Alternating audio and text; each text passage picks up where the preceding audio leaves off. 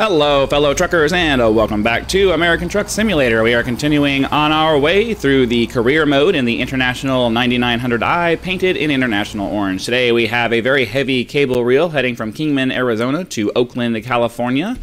The current trip time says it's going to be about... Why did my truck turn off? the current trip time says it's going to be about... Uh, well, it doesn't give me an 13 it says it's about 13 hours. Sorry losing my losing track of time. Uh actually i'm not sure which way we're supposed to be going right now. So okay it wants us to turn back around and come this way. We'll stop for fuel right around there. So let me get turned around hopefully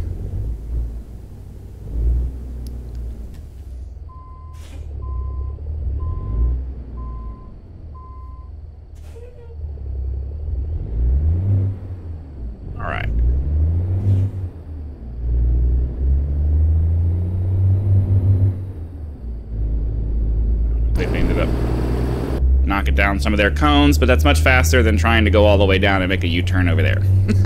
all right. So let's get down the road a ways. Uh, you can see down there the bottom right gauge where, the, where that you can actually see is our fuel gauge. So we're going to want to stop for some fuel here in a minute. Current speed limit says 65, but that's going to turn into 55 here in a second.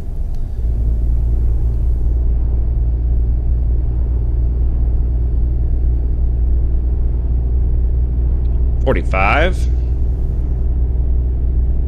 Back into the town of Kingman. Try to make sure I don't encroach on the other lane, because the last thing we want to do is damage our load if we can avoid it. Cells a little bit slowed down here. I don't necessarily worry too much. Road. Then turn right. I don't necessarily worry too much about speed limits because I have most of the I have all the fines and stuff turned off. Take the next right. But I also don't want to end up damaging my truck or my load because that's a big waste of money. I think for this though, I'm definitely going to need because of how long the generally when you have these super articulated loads, you need a little bit more space to turn. To make sure you don't hit anything.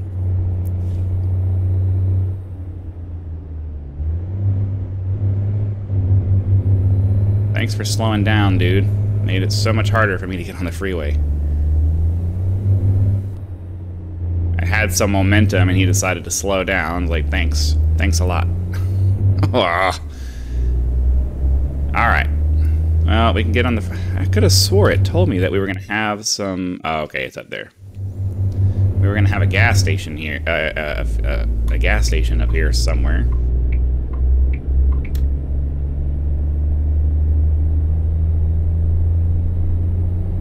Alright, so hopefully we can drive down this way just a little bit, get ourselves put into the gas station, get fully fueled up, and we should have enough to get us to our destination.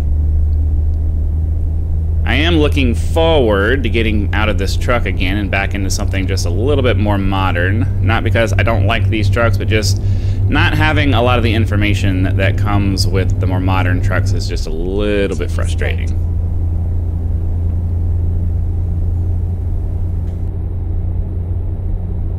So hopefully we'll see some fuel icons pop up on the GPS over there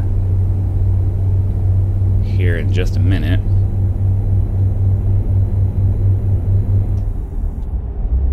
And we'll set this. We'll set the. Uh, uh, we'll set the cruise control to uh, 75 so that we can be right there at the speed limit. According to the map, we're supposed to see fuel here in a little bit.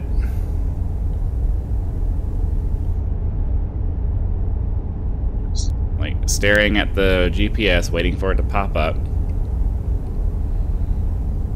Come on.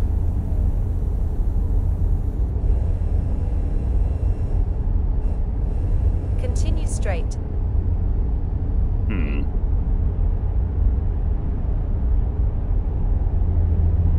We're gonna get to the... Okay, it's coming up here pretty soon. So I want to make sure that I don't end up missing the exit. So I'm hoping that it's going to pop up before whatever exit it is gets up, like, before we get to it. I hope we see it on the map there. Because I don't want to bypass the fuel because I don't know when the next fuel is going to be. I, I, tend to be pretty conservative about making sure I refuel, even in real life. I, I generally fill up at about a half a tank just to make sure. I know that carries around a bunch of extra weight and all of that, but you know, I'd rather have I'd rather carry around the extra fuel and be relatively sure I'm not going to run out than to, you know, wait until I get to empty and then I have an issue where I can't get fuel. Right, I'm pretty sure. Hold on. Is it this one? Hmm. Okay, so is this one of those rare ones that's actually just like right off the freeway? Like I don't even have to really go down a street or anything. It's just sitting there. Right. It's a, it's a, like a travel stop or. Oh, okay. How convenient! I love it when it's like this. We get to just pull straight off the freeway, right up to a pump, get our fuel, and be on our way. Super convenient. Okay.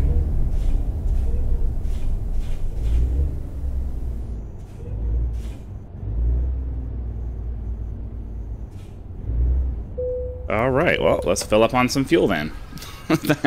I really like it when they make it super easy like that. It's too bad. You see, you see fuel stations like this a lot in Euro Truck Simulator, where they're just like kind of right on the freeway like that. You don't see it too much in America. You drive around, you drive all around America, and you have to completely get off the freeway and drive, and usually drive down a road a little bit. Like you'll find travel centers and stuff like that, but even the travel centers require you to get off the freeway, turn onto another road, and then drive like a quarter or half, or even a couple of miles down the road to go get to the to the travel center. So that's one of the things that they they didn't really do too do too much of around here because I don't. I mean, I don't know why. I'm, it's more expensive to get property right next to the freeway. I don't know. But it's just not something you see very much. So it's super convenient when we get... Oh, are we in California? Well, I'll do 65. I'll do a happy medium between what we were doing and what I, what what what we what we are required to do and what we're uh, what we'd like to be doing. Because obviously 75 would be better, but whatever.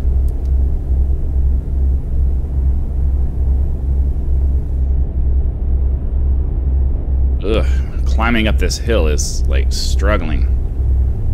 But hopefully, once we get over the top of it, once we crest this and we're able to hopefully start accelerating, it won't be as big of a deal.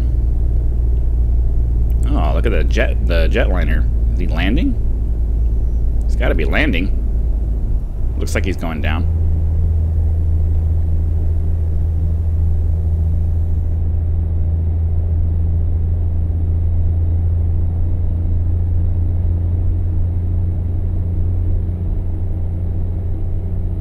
Nice big field over there. Alright, come on. Get us over the hill.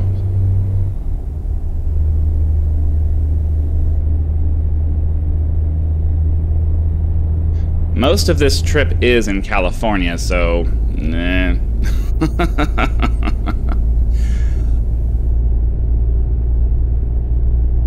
I mean, I guess we'll... The, the the overall trip is too long to fit into one episode, so I guess we can afford... I guess we can afford to do the speed limit since we're going to be splitting this video up. Not going to hurt anything.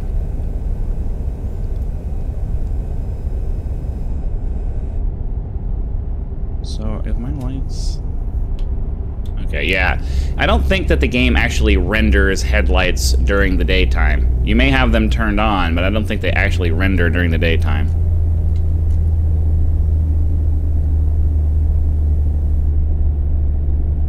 get over this hill. Hopefully we can get back up to speed.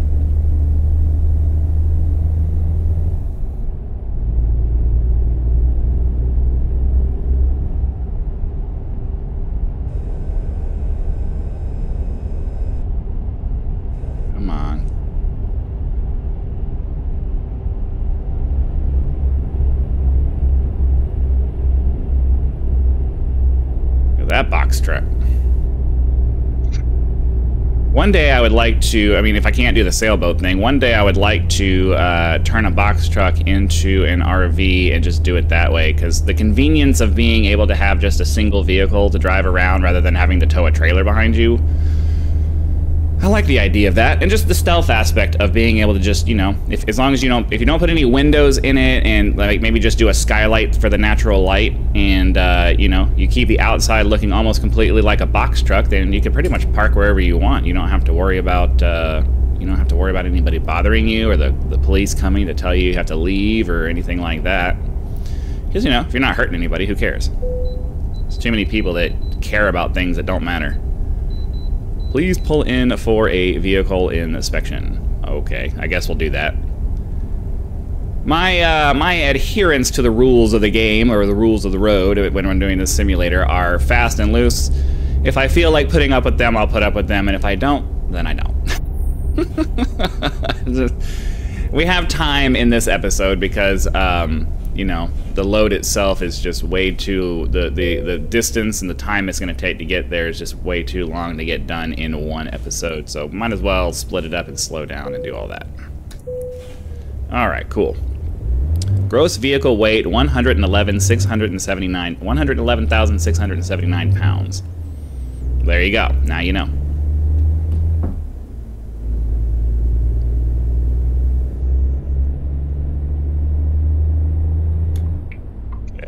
Start getting over. Sorry there, dude. Uh, I'm a real person and you're not. That's the way that works. That's the way that works. I know some people. Uh, I know some people play this game and they treat the AI car, the the AI vehicles, at, like they would in real life, and I'm like, I mean, that's that's nice of you, I guess, but uh, nobody's feelings are getting hurt when I barge out in front of somebody. Obviously, if I were doing this in real life, I would be I would be very nice. I'm very nice in real life when I'm driving in, in my vehicle. I treat people with respect and I do all of that stuff. But this is a video game, and it's uh, we have we have places to be. oh, look at the plane coming. Going to do some crop dusting probably. I wanted to do that for a time. Uh, I was in a Part 141 flight school. Uh, oh, I think I think right around 10 years ago at this point. I got my private pilot license done, um, and I was working on my instrument, and then life kind of got in the way, and I had to give it up. But I was seriously considering going down, uh, going the ag route when it came to my pilot career. I, I thought that would have been a really cool. I thought that would have been a really cool job to do. Flying planes around like a fighter, flying flying around in, a, in what's like a fighter plane, dropping chemical bombs on plants. you don't get any closer to you don't get any closer to a fighter a fighter jet than that outside of the military. Outside of doing maybe like stunt flying or whatever. But I mean, you, you need to be even you need to be in an even more select community to be able to do that. If I could find, honestly, if I could find a company that would uh, completely pay for my training to become an ag pilot, I would seriously consider it. But I, uh, I don't know. I mean, I guess they don't care that I'm the. I'm in my I'm in my early 40s at this point, and um, you know, generally pilots have a shelf life as far as how old they can be, but realistically, that's only as far as I, if I remember correctly, that's only really for passenger liners they at least at least when I was going through the course, there was a mandatory retirement age for passenger liners at 60. You couldn't fly you couldn't fly passenger liners anymore after the age of 60. But yeah, if I could find if there was a if there was a company that wanted to pay for my training and in exchange for you know one or two years of uh, one or two years of uh, you know agreeing to work for them, dude. and we need a lot more of that. We need a lot more apprenticeship kind of things coming in rather than everybody, all of these companies expecting everybody to invest in something and they don't even know, you know?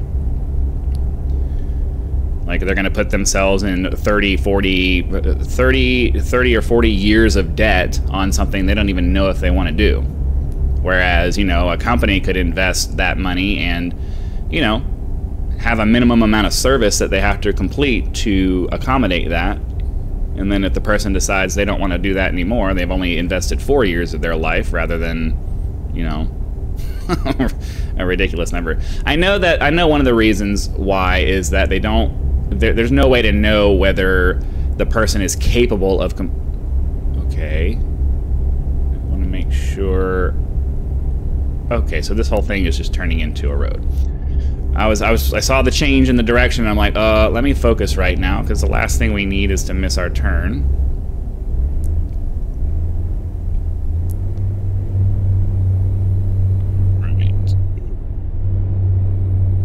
Alright, let me finish getting this turn done. And back onto our speed. Because I know the last, uh, like, not everybody can be a pilot. So, you know, it's one of those things where, I mean, I, I suppose they could come out with some kind of an aptitude test. You know, are you are you even capable of? Do you have the do you have the the mental uh, mental faculties and physical ability to become a pilot? You know, I, I just I don't know. I think I, I really I really wish that we would move into a phase of. I really wish we would move into a phase of life where businesses and stuff are investing in people again rather than just expecting everybody to come with the skills that they want ready made. They've gotten used to, you know, people spending all this money trying to learn skill sets in classrooms and stuff rather than just bringing people in and training them on the job. And I think on the job training is way more important than a lot of the other things that you could go do. I can tell I have a four-year degree, and I can tell you that four-year degree didn't really teach me anything that I didn't already know. Like it taught me some technical information on some things that maybe I could have looked up if I needed it, but like I have a four-year business degree, and you know I didn't I don't I don't really know any more about business than I did when I started. you know, you know what I mean? So it's like, um. And you know, a lot of that is just you get out of your. To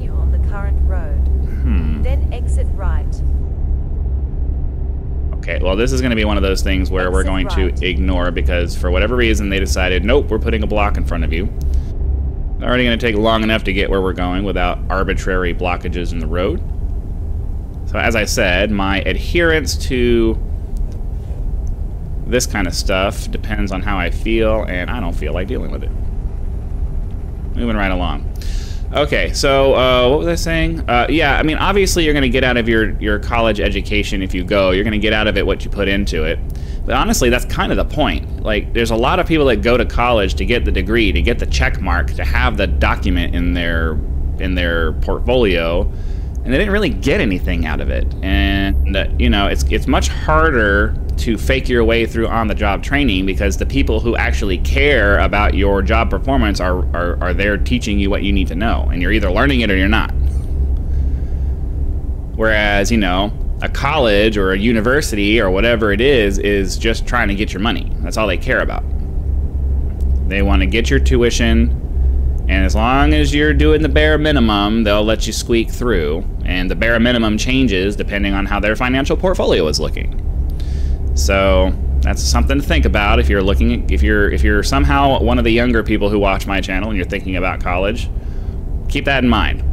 Uh, a degree doesn't really mean what it used to. Part of it's because part of it is because our education system has shifted, our university system has shifted from caring about quality to caring about money. That's that's part of it. Um, the the standards for a lot of schools has dropped precipitously because they're almost they're almost solely concerned about making money rather than actually providing a good education. That's number one. But then number two is just the fact that so many people have a degree now that if you want to compete, if you want to, there's no, it's not really a competitive edge anymore. It's more along the lines of you know, it's like it's like the high, high school diploma used to be. You need to have one if you want to even be well, let me let me let me rephrase that because that's not necessarily a true statement. I was going to say that you need to have one if you want to even have a if you even want to be considered because you know how it was 20 20 30 years ago you had if you didn't have a high school diploma you were at a disadvantage to everybody else because you know every, you couldn't even complete the basic requirement. So now it's the the, the 4-year degree has replaced the high school diploma as kind of the default thing that you need. But then at the same time, um, I don't know about every business, but I know a lot of businesses out there don't give two craps about your degree. They see the degree on there and they're like, okay, I don't. They they don't even a lot of them, a lot of them don't even notice that you have a degree on your resume. It's not even they don't even look at that anymore. They're looking at your work experience. They're work. They're looking at your accomplishments that you've made. They're looking at a lot of different things that have nothing to do with the, you know, 50, 70, 100,000 dollars that you spent on an education. Because um, so many people have gone through the through degree programs that doesn't really tell them anything about you anymore. It just means, oh, they went through a degree program. Okay. so, uh, you know, uh, I've I've never been asked about my degree not once. I don't even know if they if, if they even saw it on the resume. They they care about what you what you what you bring to the table as far as you as an individual. So I don't know. I, I just uh, I don't know. It's it's hard it's hard to know it's hard to know for sure everything about a subject, but I think that we're moving into a place where hopefully and I'm hoping I'm hoping we're moving into a place where companies are going to be forced to go back to a model where they're investing in people and having to train them on on the job so that they can actually get quality people. All right, so we have a nice rest stop coming up here. We're 20 plus minutes in, and we, are about we're actually at the uh, we're actually at about the halfway point of the journey. So we're gonna go ahead and pull off the road here, pull into the rest stop, and. Uh, call it a day. Hopefully, you guys are having lots of fun. Be sure to click that like button if you are so that the YouTube algorithm knows and sends the video out to as many people as possible. Uh, subscribe to the channel if you're not subscribed already so that when the next video comes out, it will show up in your video feed and you'll be able to watch it as soon as it becomes available. Channel members do get early access to all of my content, so be sure to click that join button, check out the list of options that are there, and decide if any of those are right for you. Uh, your direct support is greatly appreciated and a critical component to helping to turn this into a full-time gig, so please seriously consider it. Again, thank you very much for your time. Hope you guys enjoyed the ride, and I'll see you for the next one.